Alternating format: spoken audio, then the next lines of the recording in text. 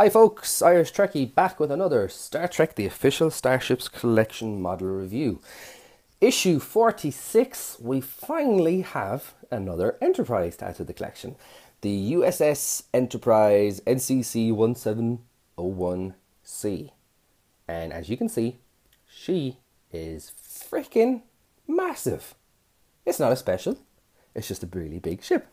Looks awesome. Um, I know this has been sought after by a lot of people since the collection started, but I don't think you'll be disappointed. Uh, but let's put the big, massive, massive ship to one side and let's have a look at the magazine. And we have a glorious, I think a truly glorious uh, CGI shot there of the magazine itself, front cover. So let's have a look inside. Okay, we have the USS Ambassador, not Ambassador, USS Enterprise Ambassador class, launched 2332, length 520 meters, so she's no slouch, and top speed of warp 8.4. So, um, again, just by the general feel, we still have a nice glossy page, but it still looks like they've kind of lessened the grade of the magazines ever so slightly. But it's still good quality. Um, but anyway, enough said about that. We have our four traditional sections here uh, profile of the Enterprise, designing the ship, the making of yesterday's Enterprise, epic, epic, and on screen appearances. With our little how to mount and some key specifications. So we have our registry, we knew that. Uh, constructed Earth Station McKinley. Um, destroyed 2344 uh, Narendra 3. Length 522 meters, dex 36. Weaponry, Type 7 phasers and photon torpedoes, and Captain Rachel Garrett. And some nice close up shots there. What a meaty deflector dish we have there. Ooh, isn't that tasty? That's really cool. Okay, so what do we have? Well, Enterprise C was designed for exploration and spent much of its operational life charting stellar phenomena. Mm earned a place in history when it was lost defending the Klingon outpost. Very pivotal, very pivotal in the Klingon and Federation history. Uh, we have a nice shot there of the ventral section. We have our phaser banks or Galaxy class type windows and that we all were very familiar with. Uh, more of a circular drive versus that kind of oval um, Galaxy class as well, and very angular um, pylons as well. But uh, yeah, I'm going to leave a lot of the meaty stuff to you guys to read through your magazines. I don't want to spoil. Okay, we have a whole host, a whole plethora of imagery here, especially from yesterday's Enterprise. Pretty beaten up. Um, NCC 1701C. Uh, poor Rachel. Uh, here we have Richard Castillo and the EXO. Uh, good old Tasha from the alternate timeline. What do you think about the garb here, the belts? It was very um, it was very alternate timeline, I thought, anyway, but no mustaches. I thought everyone should have had, a mustache, just for a laugh. Um, what do we have? Data feed. Captain Rachel Garrett spent 12 years commanding the Enterprise C. She took command in the late in late 2332 when she was promoted to captain after a well-regarded tour of as a first officer of the USS Hood. Ooh, the Hood. That's a familiar name. She spent the first six months of her command surveying, um, supervising final testing of her new ship before it was commissioned and assigned to an ongoing mission of deep space exploration. She died in an alternate future when the Enterprise C was propelled to the year 2366 and attacked by Klingons. Before her death, she had decided to return. Uh, what is it? She had decided to return to certain death in her own time. Okay. All right. Okay. So yes, she decided to go back to her own time, where she knew she was going to get killed, hoping that her crew sacrifice would help to avert the war. So that was fairly noble. Um, do do do do do do do. Anything else really saucy here? By 2366, the Federation was losing the war uh, with the Klingons, and Picard expected Starfleet to surrender within six months. Wow. Interesting. Ooh, here we have our ship profile plan view. So anything interesting here. So we have our warp core ejection hatch, very familiar. Um, a really old school shuttle bay. Sensor dome, type 7 strips, main bridge. Um, Impulse. Do, do, do, do, against Sensor Dome. Where are the torpedoes? Would the torpedoes be up here? I don't see them anywhere here. Where would the torpedoes be? You would think that they'd be here, but they might be up here as well. I don't know. I'm not saying it there anyway. Um, what do we have here? Fighting vessels. Although primarily designed for exploration, ambassador class ships fought in the Dominion War and helped establish the barricade that rest, uh, restricted Romulan involvement in the Klingon civil war as well. Hmm. When the Enterprise C returned to her own time, her systems had been repaired, but only to the standards of her own time. She did, however, have the advantage of Tasha Yar's tactical experience. Hmm. So, we get to the meat and veg of it, guys. Designing the Enterprise C. Um, but the, what do we see here? Enterprise C was the first Enterprise that was designed in a hurry for a single episode of television, but it still took years. When it appeared in yesterday's Enterprise, the Enterprise C was given cosmetic damage. The model was eventually redressed as the USS Zhukov and given a, and give a repaint. I would assume that's given a repaint so the damage was repaired. Man, can people like spell check these guys? I think they should outsource quality control to the community because we always kind of pick up uh, on these. Um, that's really nice. That's very hybridy to the Galaxy, just with that drive section there. Um, Andy Probert produced the drawings showing what the Enterprise C might look like long before the ship appeared on screen. The only part of the design that was left in the art department was a three quarter sketch, which left a lot of unanswered questions. Mm. Is that the sketch that they're talking about? I don't think so. Okay, so then Rick took over. Uh, Rick Sternbach produced his own version of the Enterprise C, working from a profile model uh, off the ship that appeared in the Enterprise D's conference lounge and Probert's original sketch. And the final profile that Sternbach sent over to model maker Greg pulled the design a little closer to Kirk's Enterprise and a little further away. So we had the kind of more angular um, uh, pylons with the kind of straighter cut off here and circular uh, saucer section, or not saucer section, circular deflector dish as well. But there's a whole lot of goodies in here that I won't spoil. Okay, the making of yesterday's Enterprise. We learned that without the Enterprise C sacrifice, the Federation would have become a military organization fighting a losing war with the Klingons. So that one battle and that one sacrifice did shape the future uh, for the Federation, which is crazy. Uh, the story of yesterday's Enterprise started with Christopher Trent Ganiano. Ganino, is it? uh, when Michael Piller asked him to incorporate Whoopi Goldberg's Guinan and Tasha Yar, he collaborate, collaborated with his friend Eric Stillwell. That's cool. Okay, back from the dead. Uh, so it was so cool to kind of see Tasha back. Has to be done. Rachel Garrett was the first female captain of the Enterprise. Uh, it was the first draft of the script. She was a man called Richard, but Piller asked for a change so that it felt natural for Tasha to take her place in history. Interesting. Wow, there's a whole lot on this. Okay. The story was designed to give Tasha the send off that Piller felt was missing. Yeah, it was so. Her demise uh, against that monster was just ridiculous. Um, even along with the romance. Two years later, the writing decided that she had actually survived and had been captured by the Romulans. Indeed, that is indeed what happened.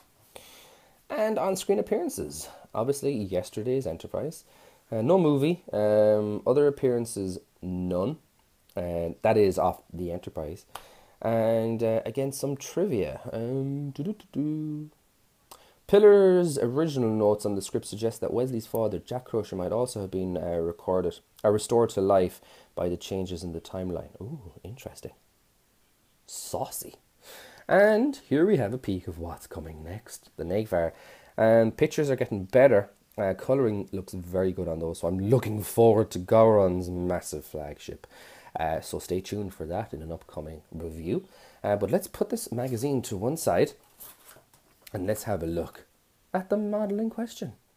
Here we go. Isn't she glorious? Even just from the packaging, she's glorious. Now, I've had a quick peek of this because I got it yesterday, but I wasn't in a position to review her. And there's a couple of flaming errors on this. Oh. For her size, she's actually quite light. Let's just put that to one side. Okay. Now, I think her colouring is fantastic. But let's just get the flaws out of the way so we can talk about the goodness. Anything missing? Impulse. Where is the impulse engine? All we have is a pretty obvious seam here, which is quite, you know, it's covered by, for me, an offset paint job, uh, which is a bit of a bummer. Um, but there is no deflector, or not no no impulse section at all. Um, so tut tut tut tut, and um, the sensor dome should be white as well. Um, it still looks very good, but it should be white as well. Um, there's a couple of other things as well. Um, transport emitters are missing, but overall, she's a very nice model. For those who are interested, dish is metal, drive section and everything else is plastic. But uh, let's get up close and personal with the C and have a look at her glory. Oh yeah, and I have a little bit of um, fluff on the side. I don't know if that would kind of file off or would I expose maybe an undercoat or something like that. But no biggie. I'd probably just display her like that. Um, but there hasn't really been any other errors. I bar a little bit of paint offset, but you're going to have those in these models anyway. But uh, let's have a quick and closer look at the ship. Not a quick one, let's have a thorough up close and personal look. So, um, as you can see, the paint is very, very vibrant. Uh, we have a whole plethora of windows and the overall moulding of the ship is really, really nice. And the paint application, I think, is very good as well. So we have our maneuver and thruster zones there, very vibrant on the sides, with our kind of two-tone. What would that be? Dug egg blue, possibly in kind of battleship grey, maybe kind of a few tones lighter than that, um, for the paint scheme. The insignia and decals, nice and crisp. We have that kind of red uh, edging uh, that we are familiar with, with like the original um, well, the Enterprise refit, refit, and a couple of other era ships like that. But uh, USS Enterprise is nice and straight and true, and those windows look spectacular up here as well. Um, the life pods stand out very nice as well, and the phaser banks are all painted really well here for me. Um, we have our insignia uh, on the dorsal. I always, I always have to think about that on the dorsal side of the nacelles slight I I I want to say a slight kind of misshaping of the red. I think it should be a little bit higher to not have that white. I could be wrong on that though. And then we have our two lines. Again, they're applied very well and kind of very unique. Not unique, but very symmetrical, I mean. We have some very intricate uh, red paint in here with a lot of kind of pinstriping along the nacelles, which is really good. Um, insignia on the actual nacelles, if I can just get in focus. Uh, USS Federation of Planets, spelled right, indeed. And even on the pylons there as well. And we have nice plastic. I love it. I love the perspex, not the perspex, just the, the plastic that the light can capture through on these guys. And I think it does a very good job on it. The shuttle bay is quite subtle in there because it's there's no difference in paint job, which I think there actually I don't think there should be. Let me just check. I'm um, just having a quick look at the magazine. No, it's it should be. Uh, yeah, it's kind of the same picture that paint as the body, but there is this kind of pad. Again, slightly offset, but no biggie. Um, we have good moulding on the pylons here as well. And overall, I think those nacelles look really, really nice and that kind of gold color just stands out really well on it. There's that little bit of kind of mold kind of extra that just wasn't filed off before paint. Paint app. Um, here's the drive section. If I can get any closer, uh, you. What is it? Starship US Enterprise. Yeah, it's all there. Um, as you can see, my windows are offset. Um, I said this before. If they can't really get the quality on those. They might as well just not have them in the mold so you wouldn't notice any difference really because you can see where the windows should be versus where the paint's actually being applied. So it's best off just to have a kind of like a blank body if you're going to put the windows in like that because uh, you'll get away with a lot more on it. Um, again, our insignia, a bit of a seam line there, but nothing too crazy. Uh, but really, really nice so far. Up close and personal with the sensor dome. Quite detailed, um, but again, should be white. Or registry there nice and clean. Overall paint job on the ventral section is really nice as well. So we have those two tones. So there's no Aztecing on this, but there wasn't any on the TV show as far as I remember. Just this kind of two-tone paint job. And my phaser bars are nice and crisp on there as well. So overall, I would really, really give this a thumbs up. And it's freaking huge. It truly, truly is huge. Um, but that's a really, really nice model, guys. And I think she captures very well against the light there. Um, actually, I never looked at the neck. It looks pretty decent. Uh, again, slight offset in paint there, but that's very intricate anyway. Uh, you can kind of see it there, goes almost up to the top. And again, the windows are offset on the neck of it as well. Ooh, and my deflector dish, forgot about that. What an epic deflector dish. Again, plastic, nicely done. Um, nice profile on this ship. And um, I think that's going to sit very, very nicely in your collection, guys. But I just can't get over the size of it, you know. It tends to be like the the stubbier the ship, the more that they can fit in the packaging, because the packaging is pretty much, I think they're like limited to the box size. Uh, because obviously like the Enterprise E and the Excelsior are so long, um, it makes them very small scale then. When you see something like this, and the Enterprise D, again, she was wide. She wasn't the longest ship in the world, but she was very wide, to again with that oval saucer. And we got a lot of bang in the box for that. But I could be wrong. Um, interested to see what feedback that would be. But um, yeah, I am very happy with my latest Enterprise. So that just leaves us with the old lady herself, which will be on issue 50. And then we have the Enterprise A. And we'll also be getting the Mirror Universe Enterprise, and we'll be getting the Enterprise refit, and the Enterprise J. Will we be getting the Enterprise F? Hmm. Get signing the petition, guys. That's going to be a lot of enterprises for us. But um, let's see what she looks like on the stand, and let's compare her then to another ship on the line. There she sits on the stand. Really nice, uh, very elevated uh, towards the front uh, so you're going to see that mighty deflector dish as well, and she sits really well as it's clipping on to the saucer section, which we'd all be familiar with at this stage. Um, but yeah, really cool and really stable. So let's compare her to another ship in the line.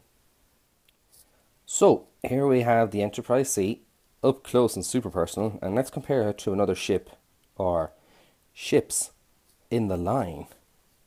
So as you can see, all the enterprises so far, we have the refit, we have the B, the C, the NX, the D, the E, and the All Good Things D as well. So you can just see scale comparison here. Um, she stands very nicely against the Enterprise D there, and the very impressive NX01.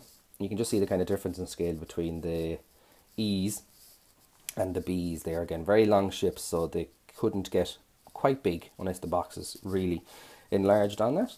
But I'm very happy with that shit there. Sitting opposite the plank. The plank? What was I saying? the plaque. I can't even talk right now.